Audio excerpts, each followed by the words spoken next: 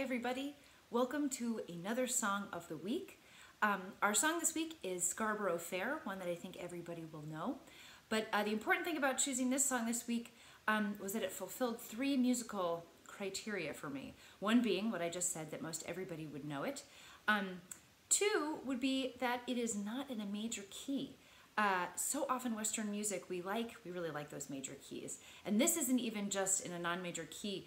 Um, you'll notice we'll play a lot of A minor chords in this key, uh, but it's actually called A Dorian. It's like a totally different mode of scale. That's why it sounds a little funny. If you um, remember the melody, you'll, you'll hear it doesn't quite sound like a minor scale, doesn't quite sound like a major. I'll tell you more about that uh, elsewhere for those fellow music nerds of mine. And third, it's not in standard time. It's a waltz, it's in 3-4 time. Again, Western music really kind of leans heavily on these major standard time songs and I wanted to find something a little different, but that was still familiar to you. So those are my criteria for this week. No big reflections other than that. Um, I know that this is a song that a lot of people know from Simon and Garfunkel's album, um, but this song is much, much, much, much older. Some believe it goes all the way back to a poem or a ballad that was first recorded by a man named Child. I think it was Francis John Child was his name. You may have heard of Child's ballads. Um, they are not for children. They were collected by this man named Child.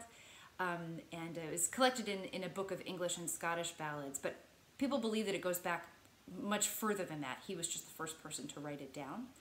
And uh, that ballad was called The Elfin Knight. And the reason that they think it goes back to that particular poem ballad um, is because there is there are similar lyrics that sort of call out these different riddles, different things that the singer is asking his lover to do, uh, or or someone who would be their lover, um, uh, that are kind of impossible.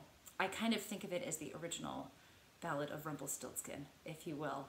And um, it's just interesting that we continue to sing it, continue to sing all sorts of, of riddle songs. This probably being one of the most famous, I would imagine.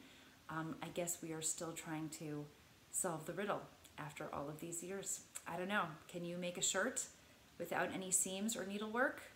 You can give it give it a try. Uh, I'm not going to try today. I'm just going to sing and play the song for you. Um, if you'd like to learn it along with me, you are welcome to. Um, I host a Saturday Quarantunes Jam for all of my ukulele folks. All instruments are welcome though. Um, so feel free to join my newsletter to get all the information for that as well as a tutorial for this song, both the chords and you'll hear me do some instrumental work in there. Um, you'll get some tutorials and materials for all of that. We'd love to have you join me. Okay, without any further ado, here's our song of the week, Scarborough Fair.